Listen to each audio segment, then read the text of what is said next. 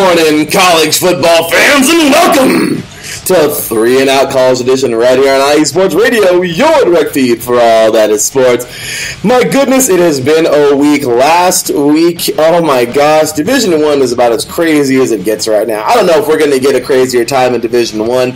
I'm excited for going into November because we got rivalry games. UCLA USC is probably going to be my favorite game of like the century. I'm just kidding. Uh, this time around, I don't know. It's going to be pretty awesome, but we shall see how that goes. Also, we, today we are talking my Riverside Tigers, the only undefeated team in the 3C2A. That's right, big game off of Mount San Antonio last week, our rivals.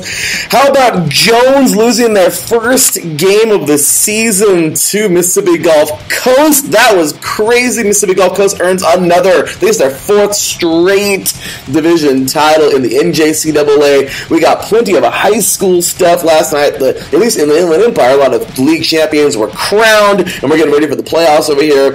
Chandler loses their first game of the season in high school football. Chandler, Arizona, my goodness. There's so many great games to get to. As you can see, we're all over the place, y'all. And by the way, Murrieta Valley will knock off Vista Murrieta. How about a hand clap for those guys? That was a great rivalry game. With that said, ladies and gentlemen, my boy Teran and I are ready to rock and roll as we have ourselves one great show to get to. You're listening to Three and Out College Edition right here on IE Sports Radio. Your direct feed for all that is sports.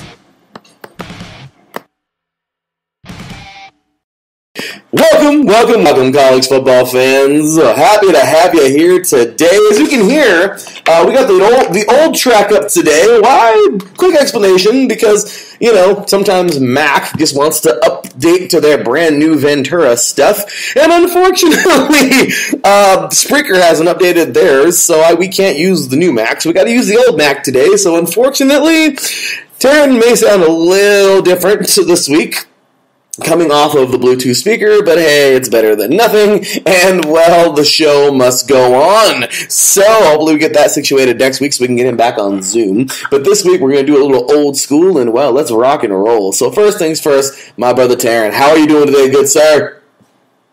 I am doing well, Larry. Glad to be talking some college football with you. It's going to be a barn burner and for those that are actually caring about the CR7 section playoffs, the brackets come out tomorrow. It's a numbers game with Cal Prep.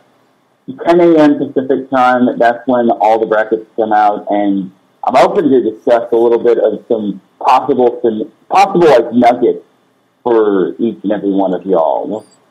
Oh, we're gonna have ourselves some fun, Teran. So, with that said, brother, there are so many great things to get to. Uh, so much, yeah. Over here in the in the uh, Inland Empire, I was watching the Inland show right now. I was shaving, and I was uh, getting ready for the day, watching the Inland Valley Sports Show with Mr. Pep Fernandez, and he does a great job all the time.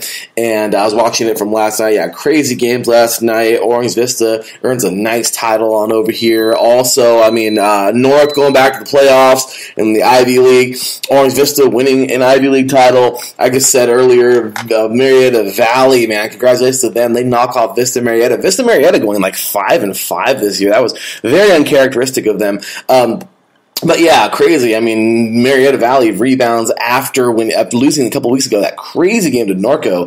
Darren, that you showed me, uh, like triple overtime by like one point seventy seven to seventy six. I think. I mean, there's so many great things going on. Y'all, high school football is just rank, ramping up over here uh, in California. We got plenty though more coming up. As I mentioned, something crazy earlier. My gosh, North Shore out of Houston, that NFL star making high school dang lost last night, and Chandler actually did lose out of Arizona, so we got that to talk about because so many great games, guys. Mater Dei finishes the season in Mater Dei fashion. I mean, just lots and lots of great things uh, coming up here on today's show. As I, as I mentioned, Riverside staying undefeated by, by a wave of just by a crazy, crazy, crazy game.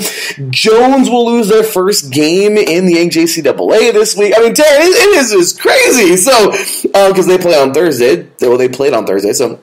We got so much to get to, brother. Let's go ahead and get on to it, y'all. So, as we always say, y'all, big ups to our Lord and Savior Jesus Christ For without him, nothing is possible. And of course, big ups all of you guys out there. For without y'all, IE Sports Radio is not possible. So we thank you guys so very much for tuning in. Let's get to some football, Terrence. So first things first, brother, we're to start it off, of course. We like to sprinkle in Division One all throughout the show. Uh, so last week, Darren, my goodness, week number eight in the NC double. I mean, we got some good ones today. Ohio State and Penn State is probably going to be like one of the funnest games ever. Uh, by the way, our boy Adam Karnick from IE Sports Radio is going to be calling Ohio State, Penn State on USRN 2 in just under an hour. So make sure to tune into that on Mixlr.com after the show here. So he's doing his preps right now in the chat room. So his final preps, he said. So glad to have him here. Iowa, uh, sorry, Ohio State last uh, last week is destroying Iowa, by the way, 50 54 to 10. But uh, yeah, Tennessee is now moved up to number three. That was incredible. Clemson nearly lost to number 14, Syracuse. Yeah, that orange battle was quite to the game last week, Teran. We had Oregon knocking off UCLA. We knew it was going to be a good one, Teran. We knew it. We just didn't know how good. UCLA looked a little sluggish. Chip Kelly's return to Autzen Stadium wasn't the best. Regardless, it was a nice victory uh, for Oregon. LSU knocks off number seven Ole Miss. I, it was just kind of hard to believe Ole Miss is that high right now. Kind of crazy, right? Rice will knock off Louisiana Tech 42 to 41 in overtime. Why is that significant? Because it's a good game. Um, so yeah, I mean that happens. um, Let's take a look here. I mean, we had so many great games last week. Teran, Alabama, well, they get a nice victory, thirty to six of Mississippi State, number twenty-four, Mississippi State. That is Alabama. I don't know if they can re- reestablish their footing though after losing to Tennessee. Just saying. And then, of course, just uh, you know, some pretty solid games down the stretch. Washington and Cal had a pretty good game, twenty-eight to twenty-one last week, uh, where Washington will win on the road. I mean, there was just a lot of great games, Teran, but with that said, uh, what what games stood out to you the most last week and why? So the first one that you actually mentioned was Clemson Syracuse. Believe it or not, Clemson was getting I would say they were getting the break beat matchup, but the first half Syracuse was up twenty one to ten at halftime. And I feel bad for this guy. DJ Uiagalelei, like he's really tried his hardest with uh Syracuse, but unfortunately he did get benched as it was just not his day. So Clemson had to go with their backup quarterback being, I'm going to probably butcher this name, Cade Klubnik, a freshman out of Austin, Texas. So he eventually turned the tide, and the Clemson defense shut out Syracuse, and Clemson survived, which was quite impressive. So there was that you mentioned Oregon beating UCLA. UCLA hung tough with them in the early stages of the game, but then Oregon hit the gas and basically just left UCLA in the dust. And yeah, it, it was kind of expected. The one time they took UCLA, they get eaten by Oregon, and then Ole Miss losing to LSU. This goes to show that Ole Miss just they have the flashy offense, but they just don't have like I don't know if they have the defense but keep up with everybody. And then Oklahoma State knocking off Texas. That could be an interesting storyline for the Big 12, especially since TCU did win. So there's quite a good number. We had definitely quite a good number of games last week. And then also, I should make note of this, is that well, San Diego State actually had competency in terms of their gameplay. It wasn't just the special teams and defense carrying them. They got some sort of help offensively. Yeah. And that and was I nice. I think that's pretty much it. And, uh, oh, yeah, Stanford won their second straight FBS game, or uh, second straight game against an FBS opponent. So, congratulations, Stanford. You're actually winning against FBS opponents after you lost, I don't know, 11 straight to FCS opponents. Yeah, you kind of want to win those. So, um, yeah, with that said, Teran, great games there. Today we got the game of the week, of course. I mean, Michigan, Michigan State. I don't think it's going to be much of a game, but whatever. It's on ABC. Uh, we'll talk about that one later on today. Of course, we got some good ones. I, like I said, the game of the day. I don't care who says what. It is number two Ohio State, and number thirteen Penn State. Penn State, I, there's just a lot of dislike there. I mean, I don't know, Teran. This is going to be a good game, so we're going to get into that one later on today. Uh, but let's go ahead and dip on into some high school, Teran, and start things off, brother, with that current top 10 in high school. We have North Shore Houston, man, that football factory over there in Texas. Well, good sir, last night, Teran, what a game, man. They uh, barely, barely beat, and I'm going to butcher the name, but Atascosa, I believe is how you pronounce it, the Atascosa Eagles out of Humble, Texas. Teran, this was a close one, brother. I know, I know you got more for us right now, but 16 to 13 final score. How about that one, Teran? Yeah, North Shore basically to grind out in the uh, fourth quarter. They basically needed to come up big just because Scotia, they stuff to them in that first half. They were up 13-3 at one point, and then North Shore basically had to turn on the gas, and it's courtesy of David Am- Am- yeah, Amador missed a touchdown pass to Terrence Guillory the second. So, and then eventually the North Shore defense had to come up big as basically it, they, they needed to like stop the run game and they came up big in the red zone. So overall, North Shore really proved why they're top ten. It's never really easy to stay undefeated, especially when there are a lot of good teams out there, especially when it comes to like Texas. There are really a lot of good teams from that Texas area. Absolutely, Teran. There certainly are. and well, I'll tell you, Teran, the one that was crazy for me. This is the, this is another top ten a close one, but it was a little too close. And the Chandler Wolves, Teran, we've had some NFL stars, just like North Shore, come out of this school. And last night, it would happen, man. Basha. The Basha Bears coming on over from Chandler. I think it's a rivalry game. Teran, this one looked close, but it happened, good sir. The 7 and 1 now seven and one Basha Bears would make Chandler also seven and one, knocking off Chandler fourteen to seven on the road. Teran Chandler lost this game at home. Yeah, well, I'm not surprised. I, Basha has, I, I wouldn't say I've seen Basha, but they've come back from like worse deficits than this. So this is kind of not overly too terrible for them. So I really, they came up big late in the game. Obviously, this was a classic defensive slugfest. Both of these teams really were just back and forth, 7-7. Then, with about less than two minutes and change remaining, they're running back goes in for the touchdown, and they basically just didn't leave Chandler enough time as DJ Jaiman basically intercepted the ball on the 32, and that was pretty much the game right there. So, again, I've seen Basha come back. They played Los Alamitos in California, and they were down, I think, to 21, and then eventually Basha just turned the tide on them, and they wound up winning that one. So, this to me is no surprise whatsoever. That's crazy, Teran. Uh, you got to see them even in person. That's pretty cool. You get to see them. That's awesome. Uh, Los Alamitos definitely plays some schools that are pretty dang good. Uh, those Arizona schools are tough, man. so we went from Texas to Arizona. Now we're heading on over to Florida, to the Sunshine State, Teran. Where St. Thomas Aquinas. Well, first things first, before we even get there, Teran, is Chandler in the top 10 next week because of this loss? Yes or no?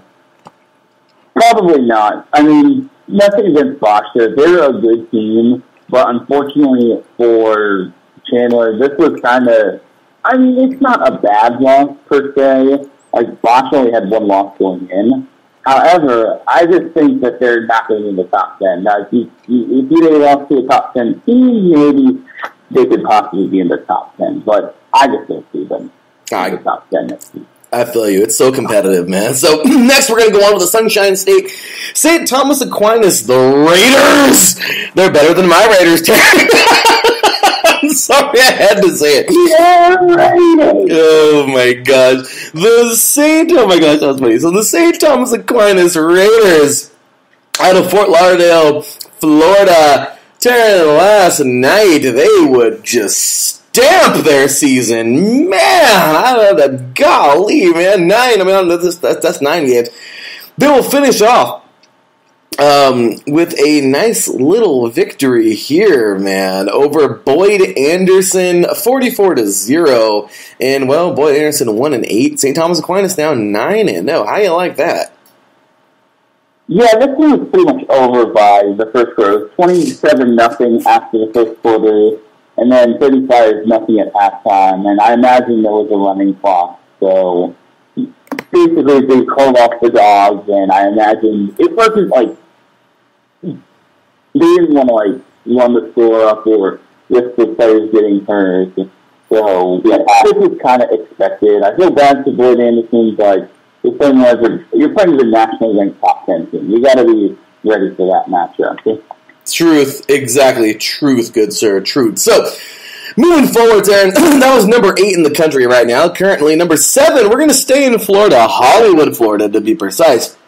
As looks like on Thursday, the Chaminade Madonna Lions will just yeah, yeah, they they're going to add to the blowouts that I'm sure we're going to see. They will knock off St. John Paul II Academy Eagles out of Boca Raton, Florida, and well, they will fall to three and seven. Uh, yeah, this team, man, Chaminade Madonna will go to eight and 0, 63 to zero. Terry, another blowout. Yeah, just like the previous one, this one was pretty much over by the first quarter. It was 28 nothing after the first quarter. Oh, no. You're, you're starting to feel a little bit of a theme. You're starting to see why he, teams that are top 10 are ranked in the top 10. And again, nothing personal, but I just think that the other team, they just did not have a chance. Yeah. They did not. They they did not, Darren. By the way, Adam says here in the chat room, it's not a show until Larry bashes the Raiders. I'm sorry, Darren. I just yeah, we, we beat the Texans this week, but I'm mm, whatever. You know, we could have won other games the same exact way. Let Jacobs run the ball. Anyway, with that said, on over now to the number six team in the country. We're going over to Georgia. We've gone south. Now we're going north of Florida to Georgia. Buford, Georgia, to be exact. That number six team is holding down that number six uh, spot pretty darn good here. The Buford Wolves, Darren, man, this team last night got off. They destroyed Mountain View, man. They were on the road, knocked off Mountain View 56 to 7. My gosh. Um, Mountain View will drop to 5 and 4 on the season, but Buford, a perfect 9 and oh, How you like that one? So this one wasn't as over as it was in the first quarter of, of the previous two games, but it was over by halftime, 42-7. I give credit to Mountain View. They did score a touchdown, and they didn't, and it wasn't like overly ugly, but it was fairly ugly. So either way, Buford basically they they proved themselves why they're in the top ten, and when you're winning by that much, you're not going to be losing anytime soon. And this isn't a, a bad team. Like Mountain View is a solid team. Like they're 500. Now, if they had lost, if they had beaten some other team, like a winless team, and gave up a touchdown, it would probably because you had your reserves in. What that was like a second half touchdown. But either way, that's basically what I got. Buford, they did not, they didn't hold back. They did not. Buford, man, very good football school. Uh, well, they're they're they're a solid school, man. This team is. Uh, we've seen them. We've been we've been doing the show for a couple years now, Teran, and man, we've we've seen Buford around the top ten like a lot. So solid stuff here. Next up, we're heading over from Georgia all the way to Las Vegas to not talk about the Raiders. Okay, I'm sorry. Um, but the high school football playoffs did begin last week in Vegas or I don't know if it's the whole state of Nevada. I mean, I'm sure, duh. But Las Vegas, man, Bishop Gorman, they will finish the season at nine and one. Only loss of the year coming to from Mater Dei they uh, actually invited Mater Dei over to play, and well, it was a good game. Mater Dei was on the ropes. We talked about this one weeks ago, Teran, a long, long, long time ago. But of course, they would lose twenty-four to twenty-one. Bishop Gorman, though, once again, the only school they would lose to, and well, they would move on to the to uh, the playoffs after a dominating. 75 to 0 victory over Henderson last week. Last night, looks like it's called the N IAA playoff, uh, football playoffs. Teran, they will play, or they would play Faith Lutheran. And it looks like it was on the road, as a matter of fact. Uh, maybe not, I don't know. But all I do know is. Oh, it was home. Okay. Well, Taryn, how is this for a first round? 72 to 0! And it looks like they are going to be at a neutral site coming up next week, taking on Desert Pines. Not to jump ahead, they're eight and two, but Teran, my gosh, seventy-two to zero. I mean, if there's ever a way to start off the first round or start off the playoffs, that's how you do it. So for Bishop Gorman, this is kind of not surprising because they actually have not one, not two, not three, but seven shutouts on the season. Ever since they beat St. Louis of Hawaii for Honolulu, they've basically they've only given up 10 points, and that 10 points was to Wood of Melville, Georgia. But Bishop Gorman, they really need business when it comes to their defense. And shutting out, like, this is their sixth straight opponent, and they're seventh out of the last eight that they've shut out. So I'm not overly surprised to see Bishop Gorman shutting out an opponent, but this is basically the team that nearly beat Mater Dei, and they held them to 24 points. Like Mater Dei is should be averaging somewhere like the 30s, but I don't know that number off the top of my head. But back to Gorman, yeah, this is kind of it should be their championship to lose at this point, unless someone knocks them off. Agreed, Teran. Now we're moving to number four. We're going. We're going more west. We we went from Georgia all the way out west to Las Vegas. Now we're heading on over to Bellflower, a place that you and I don't live too far away from. In Bellflower, California, you know who it is the St. John Bosco Braves, currently number four in the country. They were number one until Mater Dei knocked them off. And man, St. John Bosco, they will uh, stamp their season last night with a freakish victory, 56 to 14 over Santa Margarita. Santa Margarita, Santa Margarita Santa Margarita will finish six and four. St. Bosco finishes nine and one, with their only loss coming to guess who? The Mater Dei Monarchs. We talked about that game a couple weeks ago as well. Number one versus number two. Mater Dei got the better of them. They won that. Mater Dei won that one 17 to seven. And well, hey, St. John Bosco dropped a little bit, but they're still there. So yeah, you know, Mater Dei doing their thing, playing top ten teams in the country, and well, and they, as they should, getting challenged. Iron sharpens iron, and well, you know that's how that goes, Teran. So yeah, St. John Bosco obliterates Santa Margarita last night at home. Yeah, this wasn't too surprising, if you ask me. And honestly, what really hurt Mater, or Santa Margarita is obviously playing this opponent, but obviously they played Dei and got the brakes beaten off them. But I was a little surprised in Santa Margarita because here's the thing. That loss obviously was expected, but that loss also hurt them in the fact that they finished tied for third with JSerra and Orange Lutheran because JSerra beat Orange Lutheran 20 to 7 last night, which was probably a, an upset in my opinion. So here's, I'll be a view away from Santa Margarita Boston. Here's, here's how the Trinity League finished. Mater Dei obviously first, Bosco second, JSerra Olu and Santa Margarita tied for third. JSerra actually won the coin flip to be the third place representative, so I imagine it's going to automatically qualify for the playoffs, but it's just going to be a matter of what division they're going to be in. So that third through fifth was really, really all over the place. And other than that, um, Bosco, I, they're going to be very interesting going into the playoffs. I really want it I really am interested to see what they can do come playoff time. You and me both, Aaron. Well, now we're gonna go from Bellflower clearly across the country all the way to Miami, Florida, man.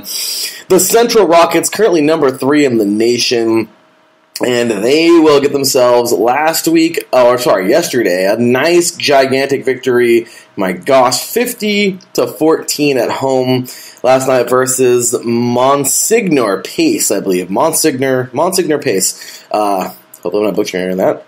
The Spartans. And well, they will win that one. Uh, they'll, they'll drop to four and five. Monsignor Pace, that is.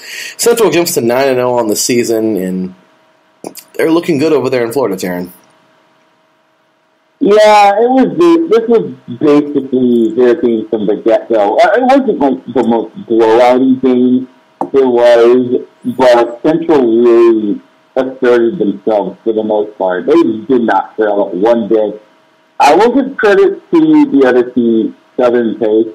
They were, or, I'm sorry, not Southern Pace, Monsignor Pace. They put up 14 points, and they did come in 4 and 4 on the year.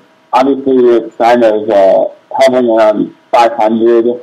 But the fact they put up 14 points, obviously they had a first half touchdown. I've seen they scored the second half touchdown in like garbage time when the dogs was called off. But I think all, I, I give them an equal effort with that one, but Central is just too good. They're, they're, the number three team in the nation for a reason.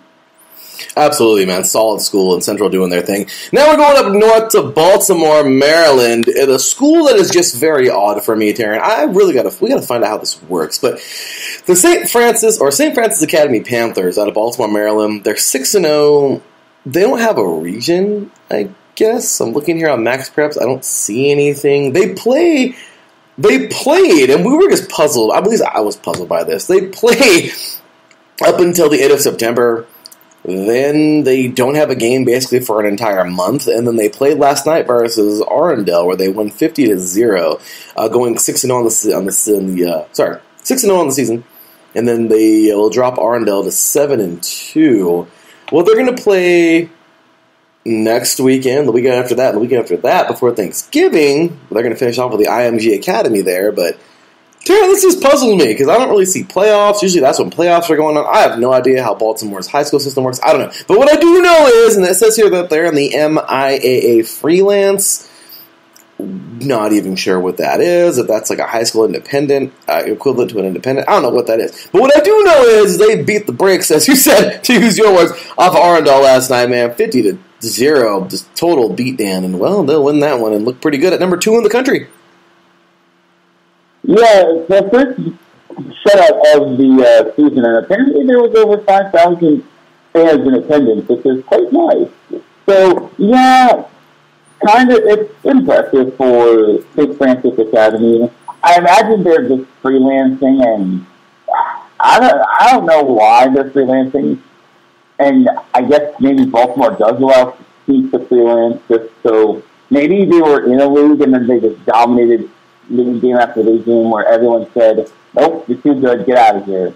Which California could probably do, but you have to realize that school districts are a thing. So I imagine maybe St. Francis has that, doesn't have that problem. But, we'll, but it is what it is. So this one was pretty much over by halftime. So, yeah, big up.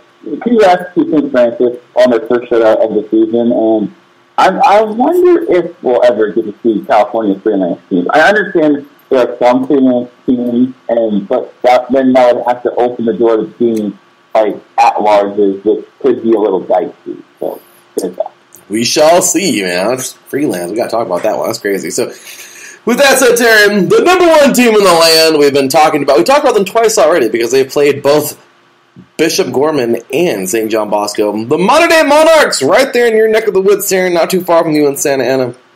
They will just eat servite for breakfast, and it was dinner time. um, they had Brenner. I've heard that before. Uh, breakfast for dinner. And, well, they would just, end off a horrible year for Servite. Not used to seeing them this bad. They went 1 in 9. Tough season for Servite for the Friars, but Monarchs, man, the the the Mater Dei Monarchs, forty-eight to seventeen. Yeah, how about that one, Teran, for the number one team in the land? Yeah, this wasn't surprising. Remember, Servite lost so much to graduation last year, and this was a rematch of last year's championship. And obviously, Mater Dei was not going to have any of it. And here's the thing for Servite. They're one and nine. They hit season one and nine. The regular season one and nine.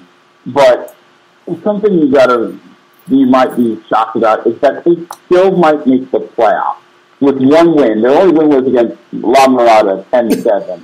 They still could make the playoffs. Because you got to remember, the CalPreps and the whole new CIF Southern section system is rewarding teams based off of tough strength of schedules. And I don't necessarily agree with this. I feel I don't know if Servite deserves to be in the playoffs. Nothing against them, but one in nine. At least if they had won a league game, I'd make the argument for them. But it's like I, I can't. I can't really. I'm sorry, but I just can't make that argument for them. And they're projected to be in Division Four, and it's going to get so much easier for them if they make the playoffs. And I don't want that to happen. If anything, they could be like the low seed in Division Three, but they're projected to be in Division Four. If they're in Division Four, that could be dicey for all those other teams that are not. They don't have, do not have like the athletes that Servite has. Darren, that reminds me of something that, well, we just had the conversation a couple days ago, my buddy Alex and I. So, long story I'm going to try to make this short. It's not going to be that short, but yeah, whatever. We got some time. So, Teran, last year, you and I talked a lot about, uh, at the end of the season, we talked a lot about that Arlington Lions. You remember the Arlington team last year, Teran, Arlington High School? Uh-huh. And their craziness. So, ladies and gentlemen, I'm going to go ahead and second what Teran was what Teran was saying right now about the Friars being one and nine and still making the playoffs. That's kind of crazy because last year, and if you forgot Teran, I'll go ahead and refresh memory. But my good buddy Alex and I were talking this last past week. He, uh, I guess, one of his coworkers' sons is the running back for Hillcrest High School, which is in Riverside, California, and they were at the game versus Arlington last week, and Hillside beat them 35 to 8. And Alex was saying there are people in the stands talking about how Arlington was in state last year. They went to state, they went to state, they were champions, they were champions, they were state. I don't know if they ever said CIF champions, but they were champions. And he was like, "How? Like they're trash?" Like he was saying. I mean, it was nothing. No, you know, there's nothing against Arlington, of course, his words. But here's the deal, though, Teran. We talked about this last year, and mm, I'm not against Arlington High School at all. I'm not against. Um, I don't know. I'm not, uh, and and then I think Alex said it best when him and I were talking. I explained this to him, and him and I talking on the phone. He was like, "Oh, well, that makes sense." He's like, "Still, I don't know. I don't think it should have happened." He's like, "But."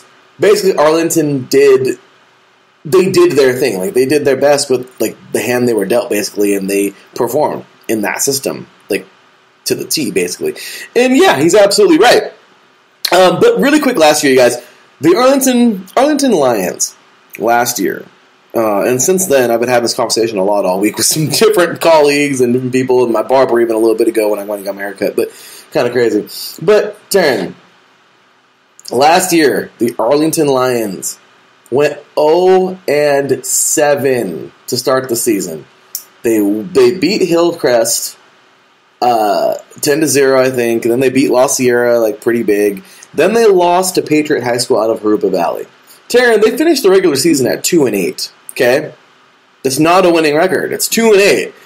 Well, what happens? Of course, our committee over here, CIF in California, as they call it, um, Teran, the top three of the league go. Norte Vista, of course, Novi out of Riverside, California. They won it last year, I think. Uh, yeah, they won it. Then Ramona High School, my wife's old high school. Um, they've gotten very good over the years, and they were second place. They actually just celebrated their first, kind of crazy last night. Teran, I heard from Pep Fernandez on uh, the Inland uh, Inland Sports Show here in the IE. I just heard that they just won their first sole title, Ramona High School, since like the freaking 80s, I think. Crazy, right? They're not sharing it with nobody. They won it all by themselves, and they're the standalone champions. Awesome job to Ramona, right? Mm-hmm. awesome job to the Ramona Rams, man. Sporting those uh, North Carolina colors over there. So congratulations to Ramona. Just gotta give them some props. But, Teran, last year, Novi, the Norte Vista Braves, okay, Norte Vista wins it they go Division Six in the playoffs. I just earlier heard from Pep that they basically do it, and I didn't know this. You probably did for sure, but they place you in divisions after the seasons. I the season, I guess. But I guess you're quote unquote. I guess you're quote unquote that division before or like I guess the next season you're considered that division or whatever. But you really don't get a division until the playoffs. They try to max you up in the bracket with teams that are like you and whatever, and that's the playoffs. Okay, whatever. Anyway, so you know that's how we get like the the division one, two, three, four, five, six. So we go all the way to thirteen here in Southern California in the CIF Southern section and all that, or CIF. So anyway, Aaron, Arlington goes two and eight. Novi goes. They they went five and zero in league. Uh, the Ramona, Ramona goes four and one. They both go to the playoffs, of course. Norte Vista goes to Division Six. They lost in the first round. Ramona goes Division Eight. They lost in the first round. Arlington just happens to get in because they went two and three in league. La Sierra and Patriot both went two and three. But somehow they, uh, I mean, Arlington did beat La Sierra. They lost the Patriot, but I guess they held a tiebreaker over them somehow. And guess what? I can probably answer that one. I think it was based off of coin flip. Do you remember how a little while ago I said JSerra, Olu, and Santa Margarita all tied for third in the Trinity League, and Yeah. JSerra won that coin flip? Yeah. That was the same case for Arlington.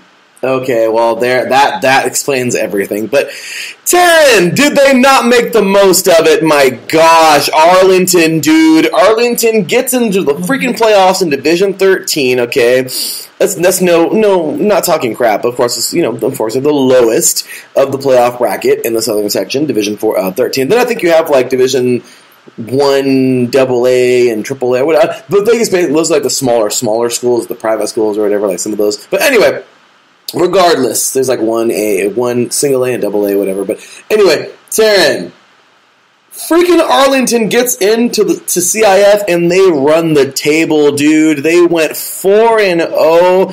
They, I think they played at Ramona High School because they used their field, um, from what I understand. But dude, they freaking won. They went undefeated, four and zero in the playoffs, and they won a freaking banner. They went two and eight in the regular season. Apparently, there you go, Teran. They won from a coin flip. And um, I guess, and they went freaking two and eight in the gosh dang regular season.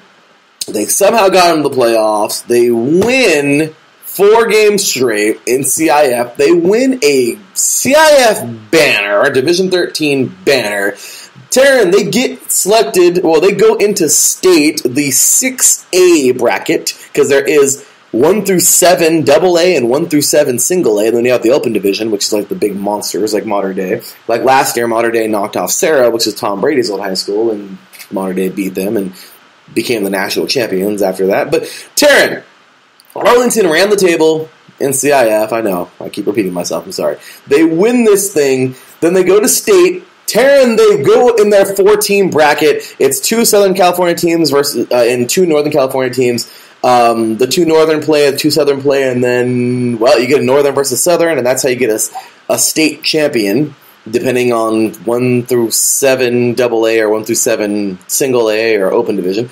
Teran, what the crap, brother? What the crap? They freaking beat Woodland Hills, or a team out of Woodland Hills, in the first round, Teran. Then they go all the way to the state championship for 6A. They go up north, and they lost to a prep school. Forgive me for forgetting their name. But they lose to a school in Richmond, where that school will win the state title, okay? And I will find the name right now because I feel very disrespectful right now not saying their name.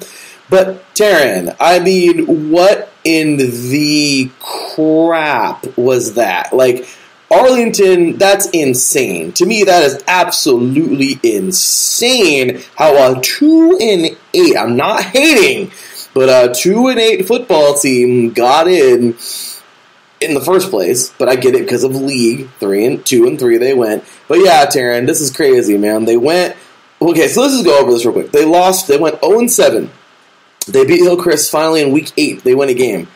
Okay, ten to zero. Then they beat La Sierra fifty-seven to thirteen. Then they lose to Patriot seventeen to fourteen. There's a three-way tie, two to three, or two and three between Patriot, La Sierra. Oh no, Patriot, Hillcrest, and Arlington. Teran. Apparently they had a coin flip. Cool, that settles that for me.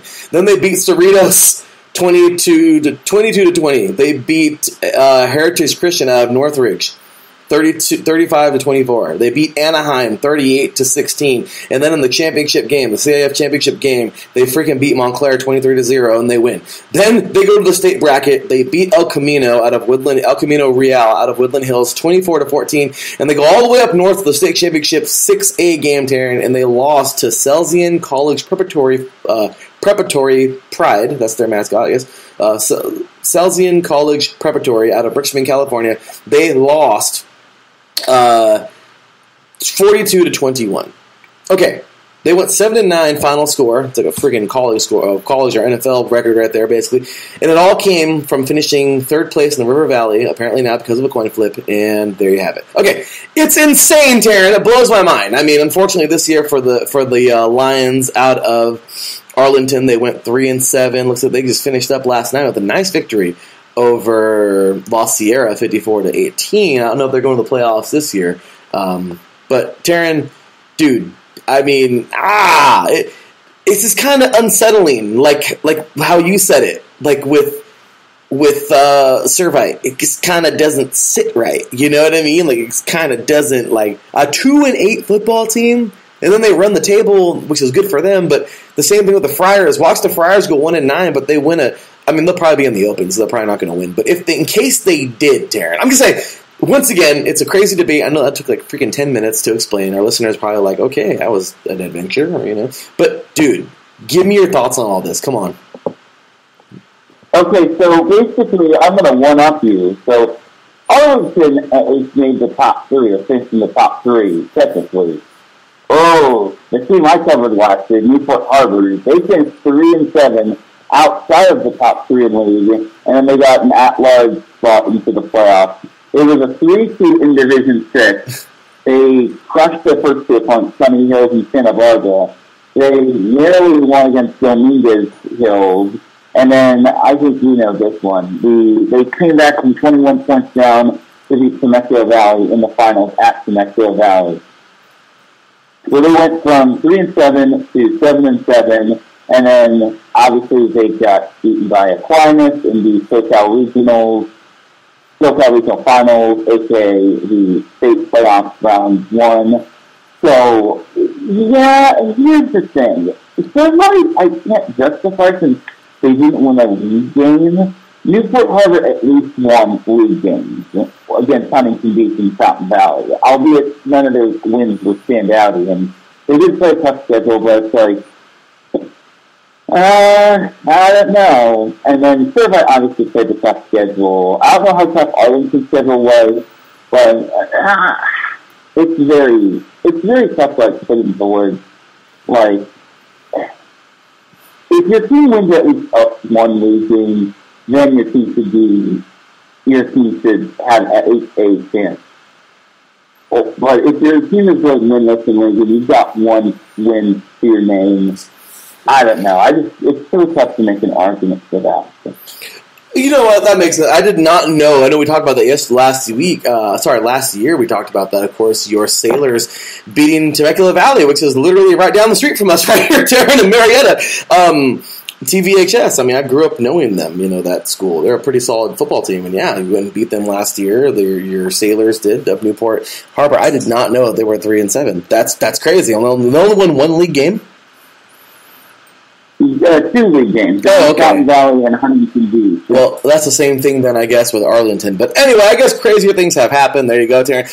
And that was also last year. So I don't know, Teran. I mean, should it be the third team was allowed to go? I mean, Teran, what do you think? I mean, be honest, man. What do you really think? Uh, here's the thing.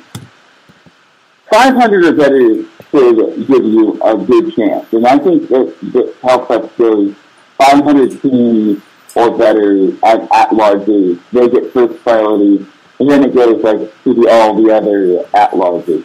But it's just it's so bothersome when it comes to like some of these sub 500 teams that finish outside of their required league, their required league uh, requisite, and they basically just get invited and they run the table. Like it's still like played in Division Four they could possibly run the table in that division and win CIF.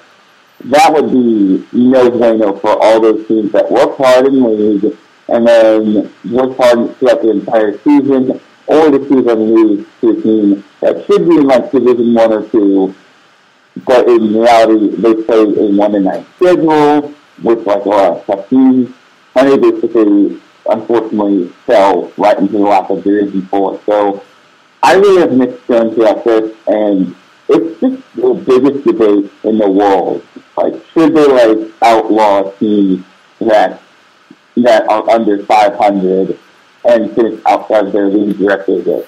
Like, or maybe they need to like have some sort of like I don't know. If you finish winless in the league or with one win in your league, you're basically not in. If you don't have a 500 or better record, I understand you don't want to like put teams that like play easy schedules in only for them to get last.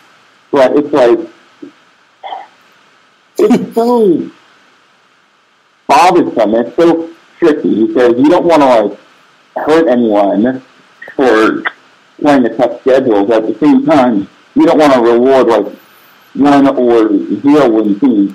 There have there was a case where there was a one in one in nine team that made the playoffs as an at large, and then there was another case where a team won went 0 and 10, but a team had to forfeit one of their league games because of an eligible player, and then they got to make the playoffs as an at large. So yeah, it's basically my little story right there of of history.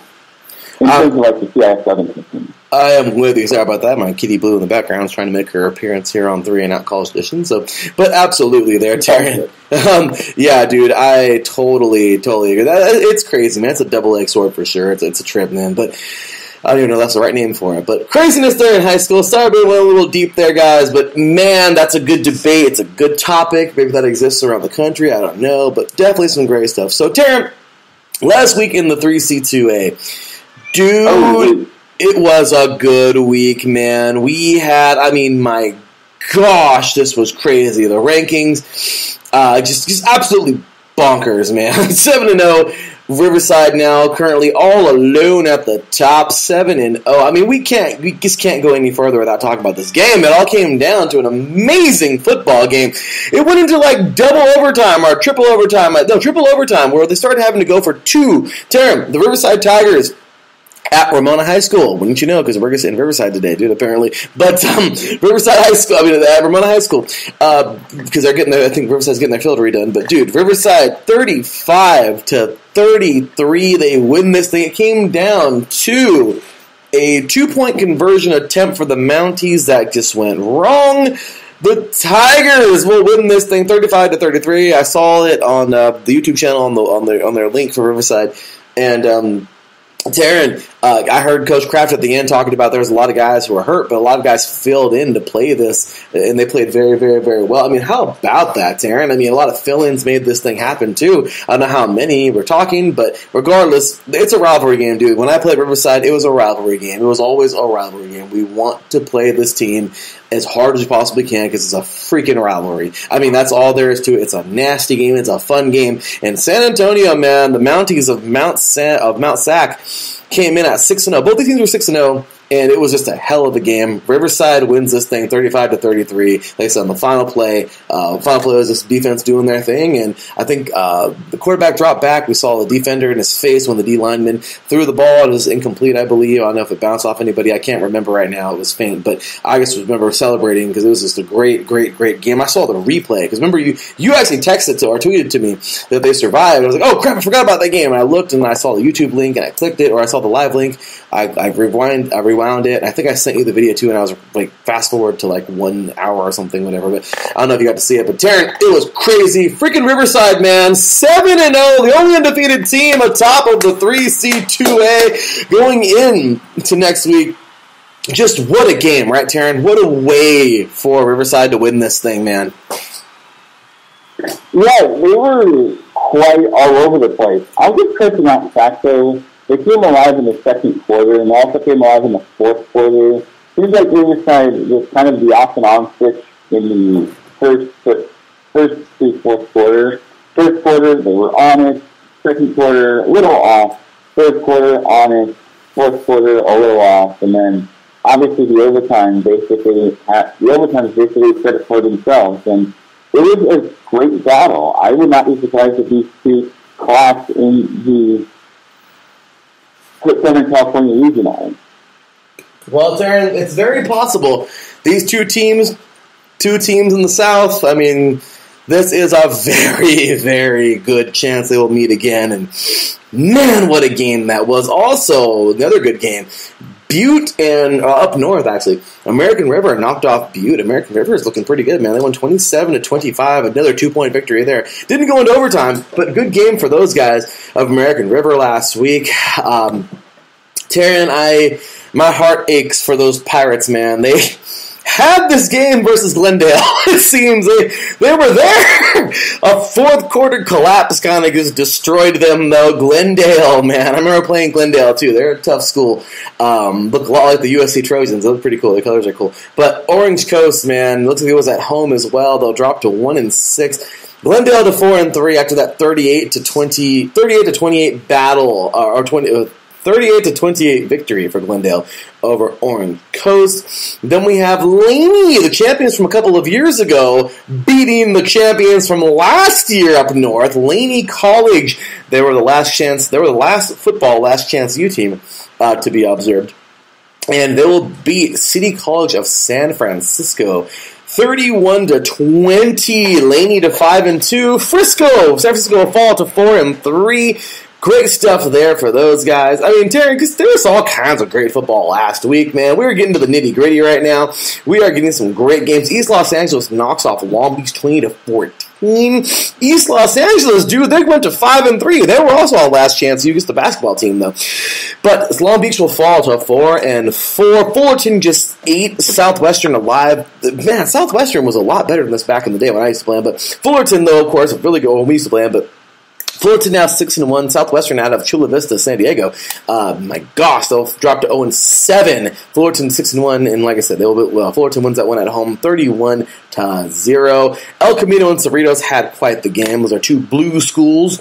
Uh, love Cerritos field that big old eagle in the middle, the big old falcon in the middle looks pretty cool. Uh, but dude, what a game! Elko fresh off a loss from Mount Sac last week, and they will head on. They will play at home in Murdock Stadium. Uh, fun fact: Murdock Stadium is where the longest yard was actually played in. In that stadium, that last game versus the, the guards and the and the convicts, uh, they filmed it there, from what I understand. So pretty cool. But uh, yeah, man, Cerritos will beat El Camino twenty two to twenty.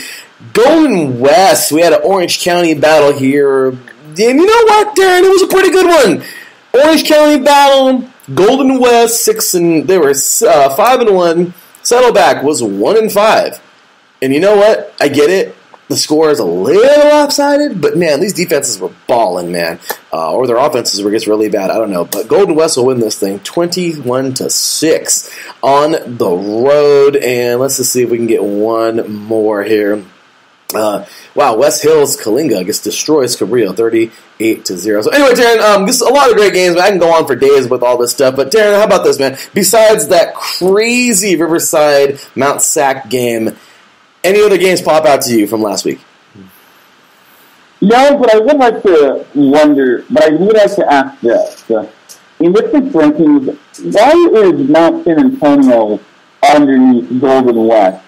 Why, why, why did they get fewer points when they played Riverside City close, whereas Golden West kind of, I don't think it's a, got the break beat nothing, but they just got beaten by more. So it kind of really makes me scratch my head of why Mount San Antonio is underneath Golden West in the rankings this week when they played Riverside close.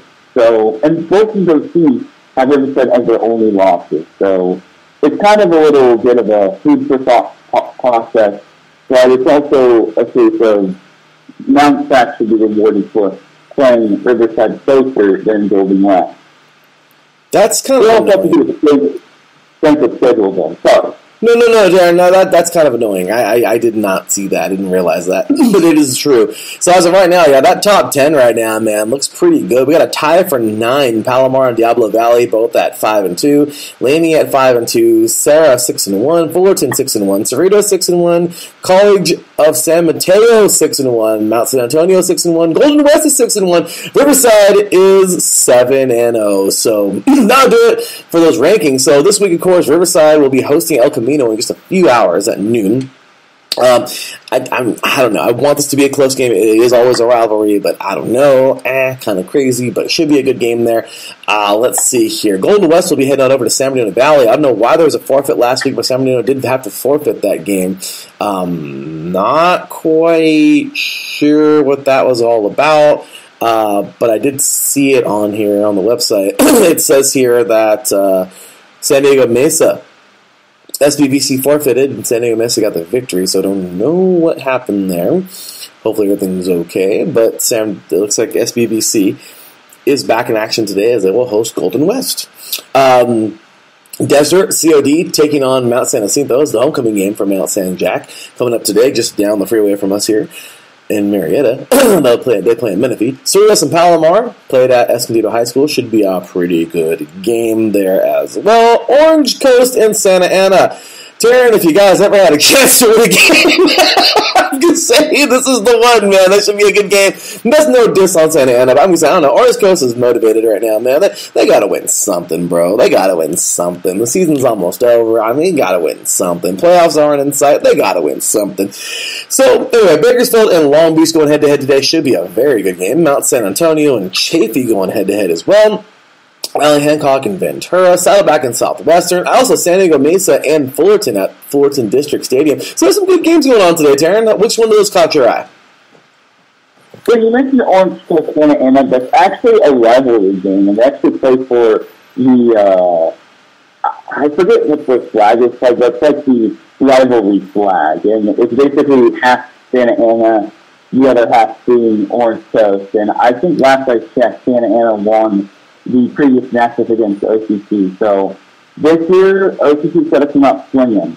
This time the guys come out hot off the gate, and last week that the fourth quarter was what they and they were in that game for all four all three quarters. It's just that the fourth quarter was kind of what they kind of just slipped up in the fourth quarter.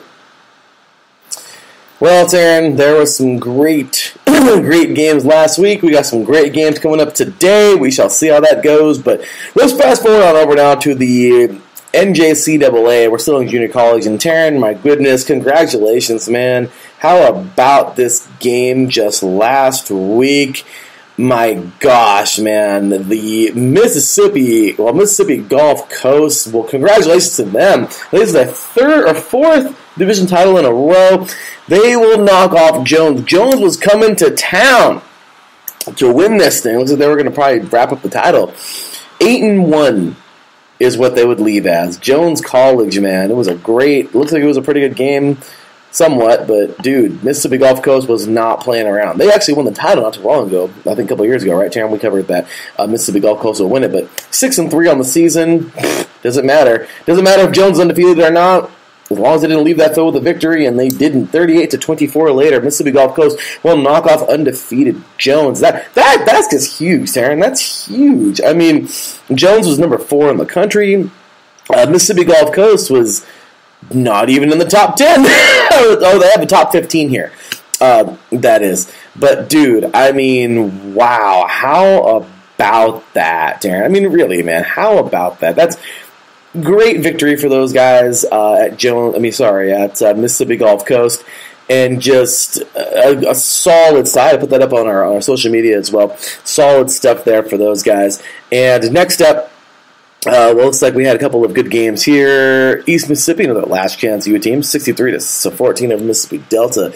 Also that same exact day. And, well, yeah, also Copiah Lincoln uh, will defeat Hinds 28 to 21 in that game. Well, uh, well, yesterday, and then of course, yeah, just just craziness this last past week. Last weekend, uh, there were some really good games when it comes like the top ten teams. Hutchinson just obliterating Garden City, going 7-0 They're the number one team in the land, sixty five to seven in that game.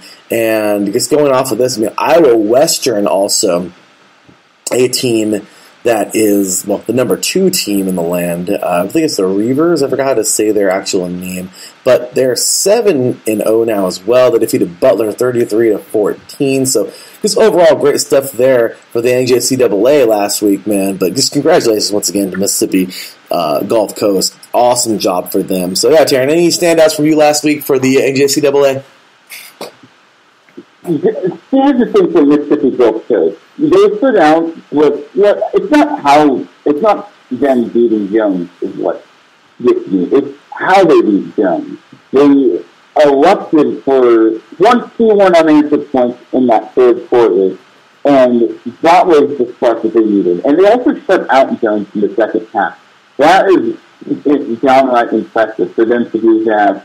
And I really think this now at turns the question: Does Mississippi Gulf Coast deserve to be ranked? And where, how far does Jones fall in terms of the the top fifteen? That's basically the million dollar question. But looking at Gulf Coast, eh, I don't know if they get into the top ten. They they are receiving votes. They received votes in their last biggest poll, but does that catapult them past Tyler or East Mississippi or Iowa Central? It's, it's basically up in the air. Like the committee has a tough decision for the next closest poll.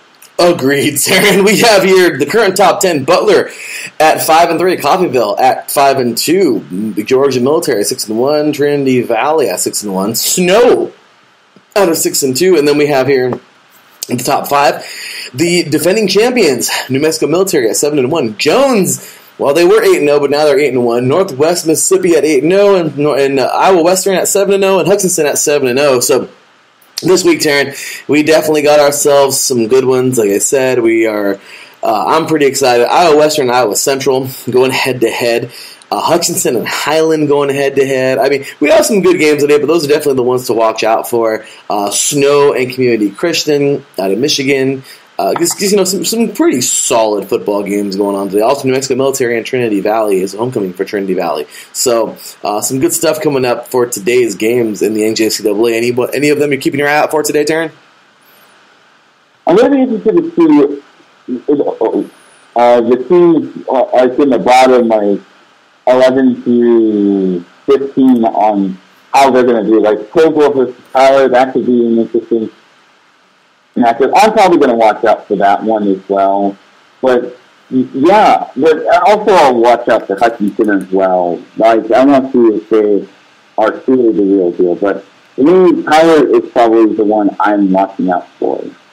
Yeah, you you and me both, good sir. You and me both. So looks like uh, we'll move on to the NAIA, man. It's courtesy, courtesy of NAIA.com. Of course, here we got Morningside well, the current top t- uh, current top ten right now in the NAIA, Southwestern Kentucky, looking pretty strong. Take a look here at the overall rankings. Uh, here we go. So they are currently six and one. Reinhardt out of Georgia, champions a couple years back, five and one. Marian, champions a couple years back at six and one. Benedict of uh, Kansas, seven and one. Bethel out of Tennessee, eight and zero. Oh. Indiana Wesleyan six and one, Northern or Northwestern out of Iowa six and one, Lindsey Wilson out of Kentucky seven and zero. Oh. We have Grandview, of course, solid organization there. Solid program at eight and zero, oh. and then number one, the champs. I think they're they were two time, if I'm not mistaken, right here on the the back to back champs. Morningside, if they're not back to back, forgive me, but they definitely won it last year, I think. So Morningside at seven and zero. Oh uh, man, we have ourselves some good stuff in the NAIA. And Morningside just having another magical season. I mean, this school, they're solid. They're, they're solid. They are such a solid school. And, you know, you gotta love how how hard they play this game. You know, this team is just a solid, solid, solid football team. And it's really cool to see. You know, it's really, really, really cool to see how far they've come. Like I said, I've had a buddy, um, Randy Madrigal, that played for, for them a couple years well when we were in college, and um, I don't think they won any titles, but they're still still a solid program. So last week, speaking of some of those schools, Marian will knock off Concordia, Michigan, twenty four to seven. Uh, also, speaking of Morningside, they will knock off Mount Marty, seventy seven to zero. Yeah, that's kind of a lopsided affair there, lopsided uh, game. And, you know, once again, overall, it's great games. Uh, Lindsey Wilson will defeat Cumberland 27 to 3. So, yeah, Taryn, any games last week that stood out to you from the NAIA? Well, one that stood out to me was Arizona 50 beating Texas College. 81 to 19. Did they really have to put 81 on the opponent? Dang. I'm baffled by this. I really, really am. But other than that, there was one close game. Point at the point the home team nearly beat Union sixteen to thirteen. That was that's a little bit more of a breath of fresh air in terms of like close games. But uh, and, uh, overall, that game that Arizona Christian won. I understand you want you play to win the game, but have to go that far. Uh, other than that, the Marian Concordia game stood out to me. And then, like I said, Union, four points beating Union stood out to me. And then Dordt narrowly escaping at Concordia of Nebraska. That was also a good one. Police State narrowly edged William Penn. So it was some good games last last week. And, you know, the Morningside Mount Mary game obviously was very one-sided. Yeah, absolutely, man. So, with that said, guys, I know we're already an hour in, but Darren and I to take ourselves a quick break. When we get back in a few minutes, we are going to jump on over to Division 3, Division 2, of course, the FCS, and finish off with that D1 single A. You're listening to Three Not Calls Edition right here on IE Sports Radio, your direct feed for all that is sports. We'll be right back after this. Some say that Indiana is just a flyover state. Flatlands and cornfields, barns and country roads. What if I told you Indiana is the crossroads of America? What if I told you in all other states basketball is just basketball? In Indiana, basketball is life. Crowded high school basketball gyms on a Friday night, and every barn with a basketball rim and a frayed, worn out net. If you're interested in the heartbeat of America, and if you're interested in sports, if you have Hoosier running through your veins, the Crossroads Pod with Aaron X is made for you. Powered by IE Sports Radio, your direct feed for all that is sports. Each and every week, the Crossroad Pod covers all of Indiana sports. The pride of the horseshoe of the Indianapolis Colts. The blue collar gold swagger of the Indiana Pacers the relentless pursuit of a sixth banner for the Indiana Hoosiers, the swing of the hammer of the Purdue Boilermakers, the swoop of the Cardinals of Ball State, the summoning of the echoes of the Notre Dame Fighting Irish, the growl of the Bulldogs of Butler, the intensity of an Indiana fever, the chop of the Indianapolis Indians. At the Crossroads Pod, if it is Indiana, we've got you covered. More than cornfields more than country back roads. The crossroads of America. Join me, Aaron X, every week. It's nothing but net.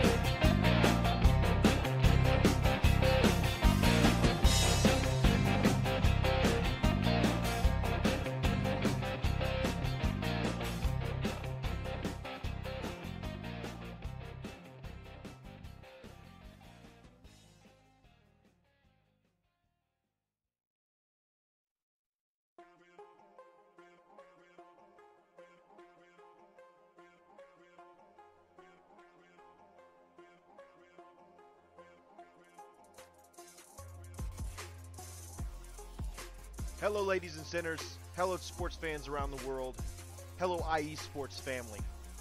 This is Cale Henderson, the host of IE Vegas, the Sin City Sports Show, presented by IE Sports Radio. If you folks are interested in sports in the Vegas area, if you're wanting to have a blast for one hour every Tuesday night from 7 p.m. Pacific Standard Time to 8 p.m. Pacific Standard Time, this is a show built for the Vegas sports fans where we feature the Las Vegas Raiders, the Las Vegas Golden Knights, the Las Vegas Aces, and the University of Las Vegas, Nevada Rebels. Hopefully, fingers crossed, MLB team coming soon. Either way, if you folks are looking to have a blast for one hour each and every week, tune, tune in Tuesday, 7 p.m. Pacific Standard Time to 8 p.m. Pacific Standard Time. If you folks are interested in Vegas sports news, go to our Twitter at Sin Cities underscore IESR, and you can speak with me, the host, Kale Henderson, at Kale underscore Henderson on Twitter. At any time, be happy to reply. Always willing to reach out to our fans. Again, the Sin City Sports Show, presented by IE Sports Radio, your direct feed for all that is sports.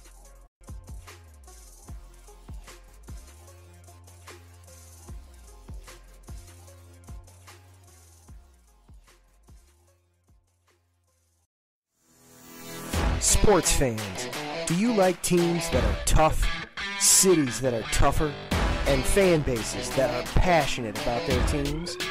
How about teams that are historic and stadiums that are iconic? Then you belong in Chicago, and you need to check out Chi Town Weekly.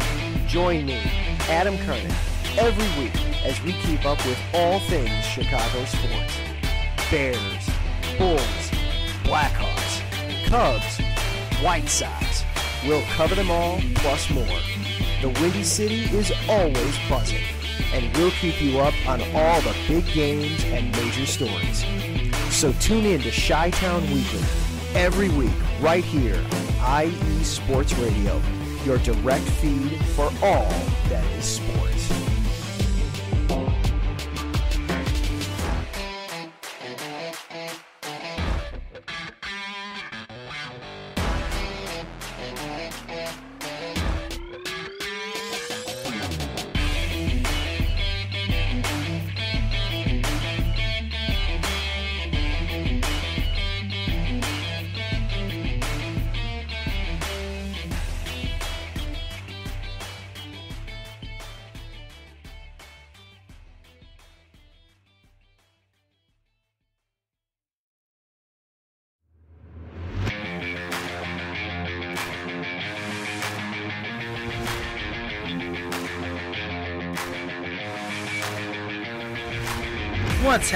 Sports fans? Are you a fan of Southern California sports? Are you looking for a show hotter than a hot summer day in California? Then look no further than the SoCal Supreme Sports Show, where I talk about all things Southern California sports. That's right, all sports teams from Southern California. From the hard hitting tackles of the NFL to the killer crossovers and big three pointers of the NBA and WNBA to the grand slams of the MLB to the bone chilling goals of the NHL and to the booming kicks of the MLS. The SoCal Supreme Sports Show has it all for you. Oh, and let us not forget about the college sports as well. So join me, Teran Rodriguez, every week here on IE Sports Radio, your direct feed for all that is sports. That is right, ladies and gentlemen. IE Sports Radio, your direct feed for all that is sports. Man, it has been a great show so far. Glad to have you, my boy Teran Rodriguez, and myself, Larry B. here. I'm bringing you the latest in high school and college football around the country. So here we are on Three and Out College Edition, part number two. We got through a ton of high school this morning. Man, that was awesome. Playoffs are getting set, all that fun stuff. We jumped on over to the 3C2A, the NJCAA, in college uh, well, junior college, of course, and now, well, then finished up with the NAIA. Now it's time to get over to the NCAA and finish off the show here. So, real quick, Teran, Division Three, as of right now, looks like we have here, courtesy of D3Football.com, the current top ten: Wisconsin Whitewater at five and two, Hardin Simmons at six and one, Wisconsin La Crosse at six and one, Johns Hopkins at seven and zero, Trinity out of Texas at seven and zero, Linfield six and zero. St. John's at six and zero, Mary Hardin Baylor at seven and one, Mount Union at seven and one, and North Central champions from 2019. Um, they are currently number one. And well, Teran, last week, man, there were some solid football games. There's some upsets, certainly here. Close one here. Number 20, Albion. And guess who, Teran? Trine. It well, Trine. This. Oh, no. Yo, yeah, Teran. Like Trine. Trine has made its triumphant Okay, that didn't sound very good, but triumphant return to three and out left from a couple of seasons ago. Man, we had quite the laugh. Uh, but Trine, Teran, they're actually right now. Trine is. Uh, well, let's take a look at what Trine's doing. Um, well, I can't really see their record, but they lost this game, twenty to nineteen. Trine nearly. I'm talking about nearly by one point, man. Just just lost to Albion at home, 20 to 19 last week. Mount Union, number two, Mount Union will just destroy Wilmington, 63 to three. Next up, we have here uh, number 22, Wisconsin Platteville. They will take down Whitewater. Number 10, Wisconsin Whitewater, 17 to 13. There, Hardin Baylor, number three, uh, will smack around Sul Ross State, 45 to 14. My gosh, what a big victory there. St. John's had their hands full with Gu- uh, Gustavus Adolphus as they won this one at home, 41 to 27. A little too close for comfort, but a good game there. Trinity out of Texas, number six, they'll defeat Berry, twenty-one to fourteen. Another close game there. Hardin Simmons will easily handle Southwestern, sixty-eight to zero on the road. Also, our number one team in the land right now, North Central, will take out Washington University, thirty-one to zero. So yeah, Teran, some pretty good games here. Not really super duper crazy upsets. Uh, I think we had one in there, a near upset. If it, it, you know, it is what it is. But overall, just you know, some some pretty good football. So yeah, any games from last week stand out to you, good sir? Uh, no, I, like you just said, there, there wasn't too many upsets, but that's kind of how it is sometimes. Maybe this week we're going to have a lot of to say? So I'm, I think this week we're going to get at least two upsets. So that's my call. Yeah, well, it's certainly some good stuff there, brother. So, moving on to this week, man, uh, we have ourselves already some games going on right now. But looking at those top teams, Mount Union will be taking on uh, Otterbein, I believe. Otterbein, I want to butcher that name, but they'll be taking them on coming up today. Uh, we have Howard Simmons taking on Howard Payne. Uh, Wisconsin River Falls taking on Wisconsin and Whitewater. Should be a little fun game to watch there. um, next up, Linfield and George Fox. Uh, but yeah, really, I don't know. Wisconsin La Crosse versus Wisconsin Oshkosh, another good game. Also, Wisconsin Platteville versus Wisconsin Stout. Some of those solid Wisconsin teams in Division Three. Also, the number one team in the land, North Central, will be taking on North Park. Uh, and yeah, I don't really see anybody else. Looks like Marion Hardin Baylor might have the week off. They might have a bye week this week. Maybe, maybe not. I don't know. Maybe I missed it. But yeah, nothing too eventful this week, Teran. I don't really see too many eventful games. Yeah, neither do I, but that Wisconsin Wisconsin matchup is, I think is probably the best one just because you can't go wrong with interstate rivalries and when it comes to rivalries put together, you just have to have the records. No, that's for sure, Darren. You gotta love those battles there, and uh, yeah, definitely, definitely gotta throw the records out when it comes to rivalry games. I think we can ask any of anybody who knows football well. So let's get a look on over to Division Two now. We currently have the top 25 poll here, but the current top 10 coal mines at 6 and 2. We have Ashland at 7 and 0.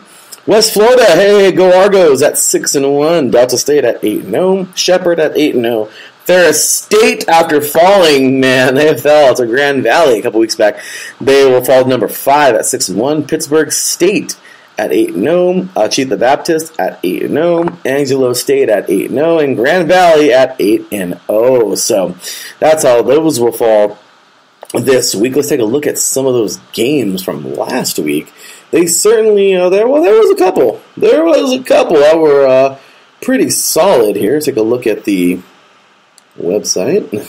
Alrighty, so moving back to last week if I'm not mistaken. It was this one. Yeah, okay, all right. So, a uh, couple of couple of games that were, I guess, I don't know, fun.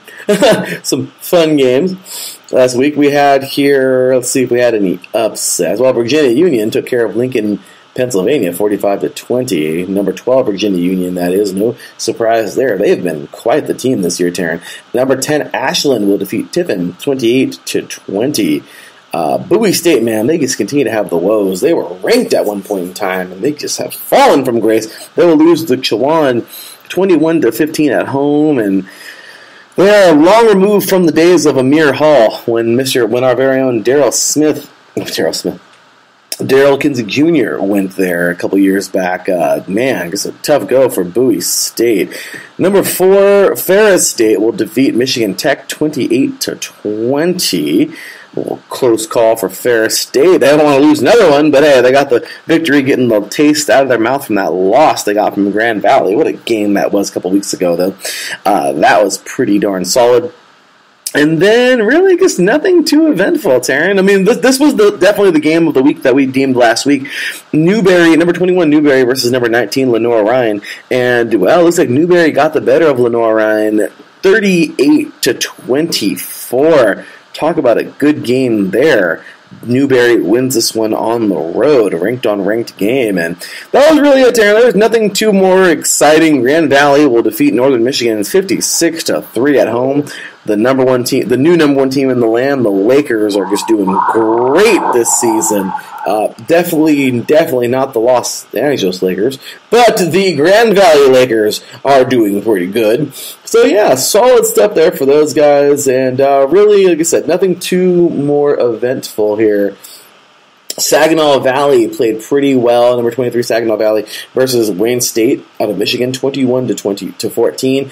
Good to see them ranked. Saginaw Valley has this climbed the ladder this year, so they've done really, really, really well. Angelo State, number two Angelo State, defeats Texas A&M Kingsville, number 18 Texas A&M Kingsville, 34 to seven uh, last week, and yeah, nothing too, like I said, nothing too much more eventful there. So yeah, Teran, kind of cool. I, I want to point this out though. Um, Tarleton State actually, I think they this is interesting.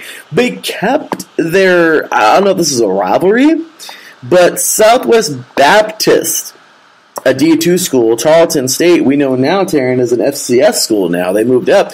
But kind of cool. They actually did get to play Southwest Baptist still. Uh, they're still on their schedule. So, yeah, 24 to 10.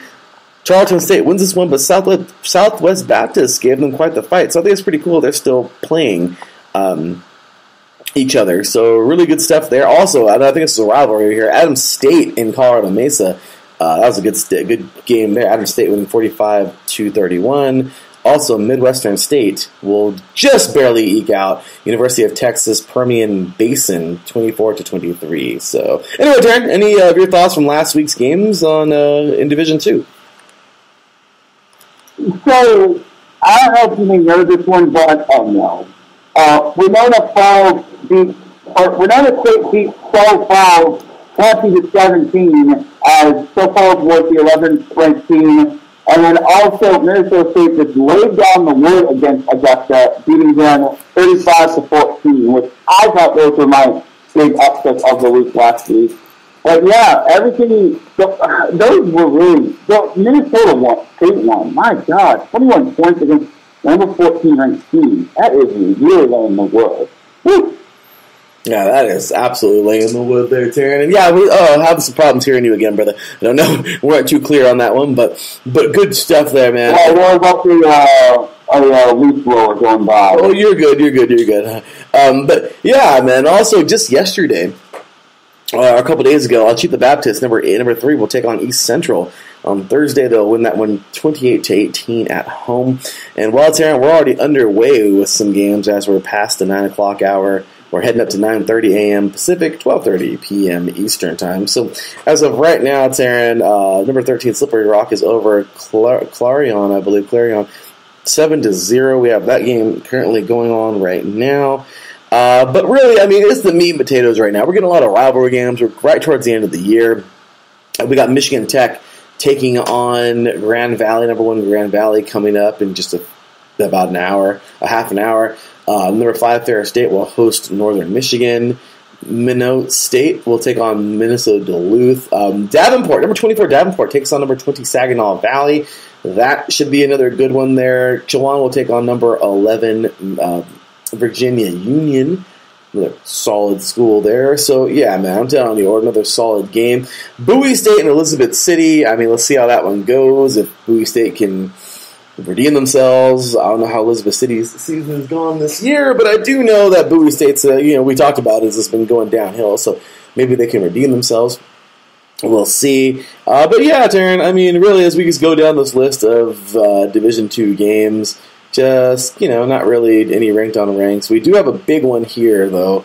Northwest, uh, Northwest Missouri will be taking on Nebraska Kearney. Northwest Missouri currently number 14. Nebraska Kearney currently number 19 there. So, yeah, other than that, Teran, like I said, not a not a lot to talk about there, and that's that's pretty much how D two is going to wrap up this week, man. How uh, any games you're looking forward to for D two this week?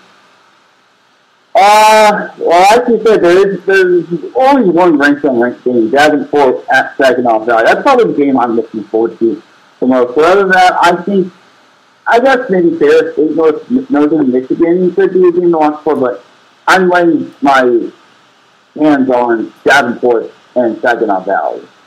I think so too. Saginaw Valley this year has just proven it, Teran, haven't they? I mean, this school has really just done it. They've played well, and they look good, man. So you know what? I'm looking forward to them this this week. Um, but last, okay, so now we get to go around into the FCS. And currently, out of currently, courtesy of NCAA.com, the current top ten right now: Montana at five and two, UIW at seven and zero, or seven and one. Holy Cross at seven and one. Weber State at six and one. Chattanooga at six and one. Jackson State at seven and zero. We have here. Uh, that's current top five, by the way. Jackson State at seven and zero. North Dakota State falling from grace after losing to South Dakota State last week in that heated rivalry match. Uh, five and two now. North Dakota State sits at and uh, currently number four. Sacramento State at seven and zero, Montana State at seven and one, and South Dakota State, you guessed it, at number one at seven and one. Well, last week, Darren, we had some uh, some games, man. I mean, of course, I think you know the big shocker a couple weeks ago, South Dakota State defeating North Dakota State. I mean, that was the that was the one, man. That was the game. I think if all of us were excited about something for the FCS this year, it's always that crazy upset. We've seen a few of them throughout the different, uh, you know, realms of college football this year. We've definitely, definitely seen some good ones. So yeah, and then last week really, I don't know, there really wasn't anything too eventful. I mean, I didn't see anything that was crazy, just jumping off at me. Um, South Dakota State will defeat North Dakota 49 to 39 or 35. I mean, you know, it, it, wasn't the worst game. South Dakota State, though, is definitely asserting that they're number one. Sacramento State in overtime will knock off the Grizzlies of Montana. That, I think was probably one of the better games. 31 to 24 at home. Sacramento State wins this one. Uh, also, East Washington defeating Cal Poly 17 to 10. Cal Poly is just having a rough go there, man. Uh, we talked about Tarleton already uh, playing. I think that might be their rival, Southwest, Southwestern Baptist, 24 to 10. But overall, man, um, just just like I said, I, I don't want to say uneventful, but it wasn't the most exciting week in the FCS, at least from what I'm seeing here. Last week, I didn't really get to ch- get a chance to look at anything. I was like homework central, getting crap done last week, so. Uh, definitely didn't didn't really follow it too much. Regardless, though, Teran, that was uh, I don't know. I mean, I, I, guess an Ivy League game here. Princeton versus Harvard. Princeton defeating Harvard thirty-seven to ten. But other than that, nothing really too eventful. Uh, any any standouts for you last week for division? So, so, so for the FCS, yeah, Montana State, uh, Montana Sacramento State really stood out to me. It was also played on national TV. I think it's actually it got put on ESPN too. And it was definitely a barn burner. Winning in overtime was the performance of Sacramento State. They actually had to come up big in the fourth quarter. They were down 17-7 in the fourth, heading into the fourth, and then they turned the tide, and then they to get a big score to stay undefeated in in FCS play or in their season. So watch out for Sacramento State. They could provide the sting on some of these other teams. They could, man, and we shall see. So, last but not least, Aaron, let's just continue to roll on into today's games. We talked about our top 10 already in college, well, in, in the FCS. And, you know, this week, I don't know, doesn't look too still looks a little bland, Teran. I mean, I don't know, I don't know if you see anything. Jump out if you do. But um, maybe I'm missing something, or I just don't see it just yet. I should have been a little bit more prepared for this section. Sorry, but uh, well, overall, Teran, I mean, Montana Weber State looks like that actually could be a pretty game. I think they're both ranked. Uh, Portland State and East Washington, I, I don't know if that's a rivalry, but it should be. uh, Cal Poly and UC Davis should be a pretty good one. Uh, Tarleton State and Sam Houston. I like this one. I don't even think Tarleton's ranked. They might be. I don't know. But once again, guys, just keep on the watch. Tarleton State. They were a Division two last year. Now they're Division uh, one double A, and they're playing a friggin' team that just won the title a couple years ago. And Sam Houston State, the Bearcats.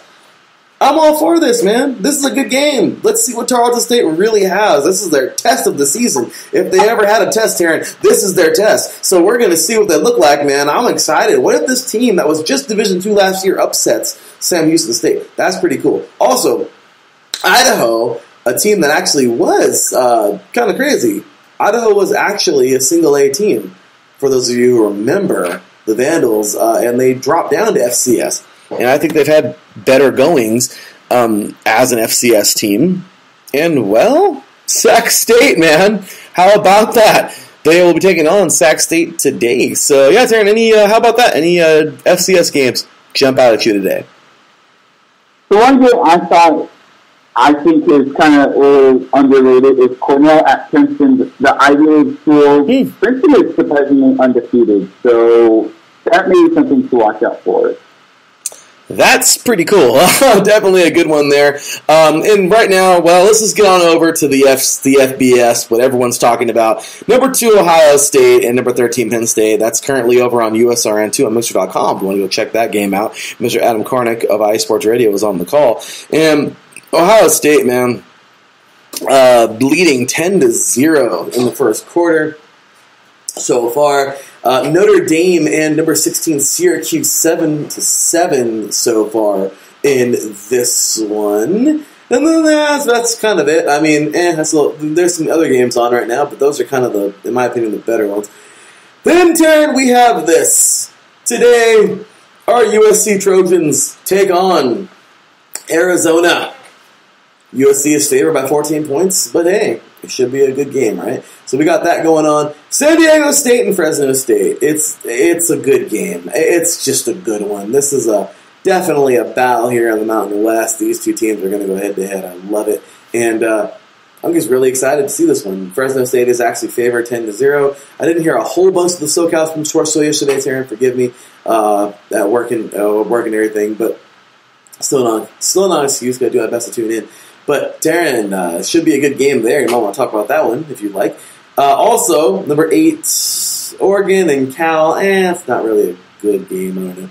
Uh, number one, Georgia hosting Florida coming up later on today. Like I said, like I said earlier, it, it's, it's not the most exciting week.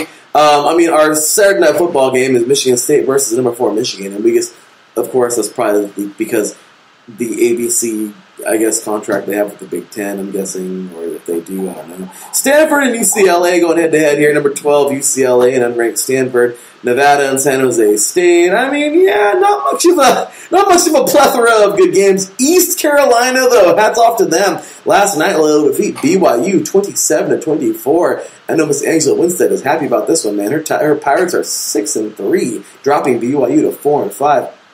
Uh, so kind of crazy there. Also, NC State will knock off Virginia Tech 20 to 22 to 21 here. Uh, also, Southern Miss. Hey, Southern Miss will defeat Louisiana, the Raging Cajuns, 39 to 24. And number 14, Utah over Washington State, 21 to 17. So, Teran, I don't know, man. I mean, there's a lot of games to look for, I guess, today. I guess if I have to look at any game that's like the best one. It's on right now. That, of course, is Penn State and Ohio State. But how about you, brother? Any any games you're looking out for today? Also, I keep an eye out for Kentucky and Tennessee. Uh, something I actually did realize on Thursday was that Utah actually won without their quarterback Cam Rising. So the fact that their backup was able to come in and lead Utah to the victory is crucial. Just because Washington State is vastly underrated. And if Utah lost that one, that would have really hurt their Pac-12 championship hopes. They still have a gauntlet to go through. They have to play Oregon, which that could basically decide who goes forward and who doesn't. It's almost going to be as big as USC versus UCLA, but yeah, between UCLA, USC, Utah, and Oregon, those are basically your four favorites to possibly win. And Oregon's the only one that doesn't have a Pac-12 conference loss. That's pretty crazy, man. Um, certainly looking forward to some good games today, and we shall see what goes down. So it's already ten to zero, Ohio State. Is it safe to say we're both taking Ohio State in this game over Penn State, Teran? yes. You need the Buckeyes. Yeah, I'm with you. Uh, of course, obviously, we're both taking Air, uh, USC over Arizona as two USC fans. Oklahoma State, number nine, Oklahoma State at number 22, Kansas State. Kansas State is favored by one and a half points. What do you think, Teran? Uh, Oklahoma State, Kansas State. I gotta go with Oklahoma State. I think that win over Texas, even though Texas is not fast, I think is still big right there. And then Kansas State obviously lost to TCU. So give me Oklahoma State. Yeah, well, give me the team in purple. I'm going to go with Kansas State. They have a lot to prove, man. So it's a, it's a good Big 12 matchup there. Teran, we got number 19 Kentucky and number 3 Tennessee that you mentioned earlier. It's 11 and a half for Tennessee. The Vols knocked off Alabama this year. It's kind of hard to not take them. yeah, I'm going to probably pick Tennessee for this one. Yeah, me too. Uh, Stanford, why not, man? Stanford, UCLA. Stanford is three and four. UCLA is six and one. Uh, UCLA favored by 16 and a half points. Uh, yeah, give me the Bruins. yeah, Stanford two days. Although they've won two in a row, UCLA is going to go up off that map and defeat Arnold. Yeah, and last but not least, Teran. Apparently, the game of the week. Um, number four, Michigan will host Michigan State in that rivalry. We've seen crazier things. Throw the records out. Uh, that block punt a couple of years back, my gosh, where I think Michigan State defeated Michigan. That was crazy. Are we going to get that again, Teran? Michigan is favored by 23 points. Are, are we going to get something like that again, do you think? Or, or is Michigan pretty much solid on this victory? What do you think? I have to give it to Michigan. I don't think Michigan State has wowed me. They had a few few losses. My only thing I'll say is it would be very Michigan State of them to win this game and not win some of the other games that they've lost, like Washington. Agreed, Teran. So, with that said, but that's pretty much that, man. We don't got much more to cover. Uh, we had ourselves a really, that was a fun show, man. It was a long one, but dude, it was good. Lots and lots and lots to talk about today. There are so many games to watch, guys. If you listen to the duration of the show, we applaud you. We want to say thank you very much for being here today. You guys are awesome. Um, it was just a good one, and we certainly enjoyed bringing it to you. So, yeah, man, that was pretty awesome. And, well, with that said, guys, that's going to pretty much do it. Teran, any final thoughts before we're out of here today, man? So, wait, hold on. Sorry, there was a, well, a motor going by. But um, one thing I do need to give a shout out to is Long Beach College football team. They have tied the record for fewest points given up in Moore League play with six. That basically ties the, I want to say it was like the 1971 Millikan Rams for fewest points given up in Moore League play. So it's incredible that Long Beach Poly did that. My only thing is, that where are they going to be in terms of the uh, Cal Prep rankings? Because tomorrow, like I said, it, that's basically the it's basically where it's Judgment Day. All the brackets come out. And fun fact about Long Beach Poly: Long Beach Poly is responsible for having the whole shifting of of like CIF Southern Section brackets. Like for example, they would always dominate the Moore League, and it used to be certain leagues were placed in certain divisions. Like the Moore League was placed in like the Pac the Pac five division, aka Division One, and they would basically drag their other teams, the other top four teams, into the CIF playoffs, and most of them would either get one and done or would pull off a stunning upset. But it would mainly be Long Beach Poly advancing through to the playoffs and basically just ripping everybody to shreds for the most part. But that's kind of your little fun fact nugget right there. Long Beach Poly ties the Millikan Rams back in the 70s for fewest points given up in Moore League play. And Poly finishes a perfect 10 and 0. They have one of the top players in the nation in Dalen Austin. I think he's only a junior. So I really think that Poly is going to be something to watch for in the playoffs. That's pretty awesome, brother. And I know we didn't really do the high school spotlight today, man, but how about those Newport Sailors? Yep. The ugly game they played uh, last night against Huntington Beach, they jumped out to a 14 nothing lead. They nearly shut out Huntington Beach, but they gave up a late touchdown. They won 24 6.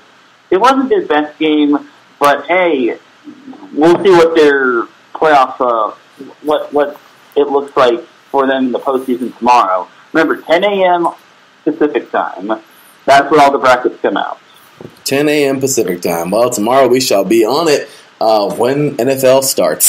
so with that said, Terry, well, actually we got a we got a ooh, we got a, a, England game tomorrow, so we're gonna be up bright and early tomorrow, 6:30 a.m. Pacific time, 9:30 a.m. Eastern. So Broncos and Jaguars get set on uh, in England, and yes, there will be three and out this week, even if I have to do it on this Mac. So my apologies once again, guys, for the quality. It wasn't the best as it's been the last couple of weeks, as I said. The Mac just has to update. Uh, Spreaker has to basically update their freaking app. Hopefully they will. They've been good to us, so oh, yeah, Spreaker will update soon, hopefully. But anyway, with that said, guys, I think it's about that time to cue the music because we're out of here. Man, what a show, Teran. Any last thoughts for today, man? No, I think I've pretty much covered it. You can follow me on Twitter at Teran Rodriguez1. That's T E R A N Rodriguez and then the number one.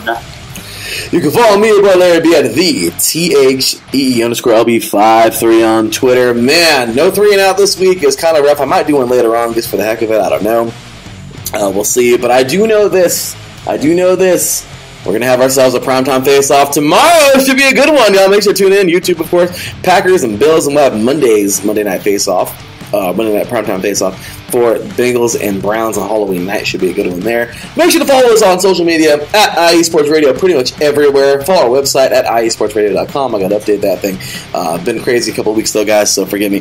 Work has been crazy, but it's been fun too. So with that said, you guys, that's pretty much it. Make sure to give us a follow at 3 and out, all spelled out, IE or C E I E. Once again, at 3 and out, C E I E. And that'll do it, guys. Tons of great football around the country. Make sure to check out all of it as we cover all of high school and college football here, at least, or at least we try to do our best here on Three and Out College Edition.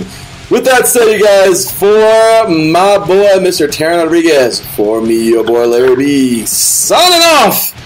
We will see you guys next week. The playoffs will be in full swing for CIF crazier times in college football, and well, we're just getting ready for these playoffs. Once again, thank you all so very much for tuning in to Three and Out College Edition right here on IE Sports Radio, your direct feed for all is sports. We'll see y'all next week. Until then, take care, and as always, God bless.